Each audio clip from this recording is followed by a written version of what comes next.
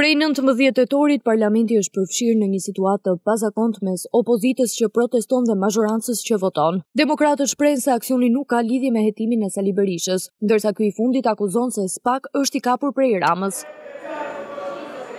Kryeministri ka reaguar për herë të parë mbi këtë situatë. Në Asamblenë e Fierit ai theksoi se drejtësia e re i ka dhënë fund të privilegjuarve të krimit dhe pse nuk foli me emër, por qartësisht duke iu përgjigjur opozitës. Ka filluar fundi i pozicionit të, le të themi, privilegjuar të krimit organizuar në zona të caktuara të Shqipërisë. Tjetri pozicion është s'ka drejtësi të re, po ka një skap që po na kap se e ka kapur Edi Rama. Janë pavërteta. Thjesht pavërteta. Madje ai kishte dhe një paralajmërim.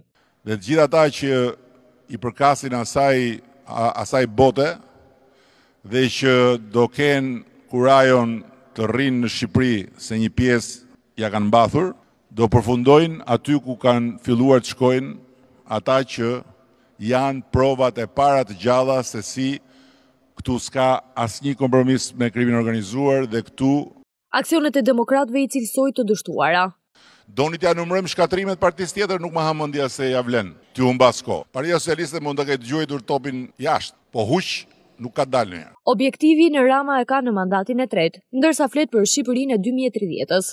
Ta kemi Shqipërinë e dy mijë e tridhjetës, një vend kampion absolut në këtë rajon për turizmin.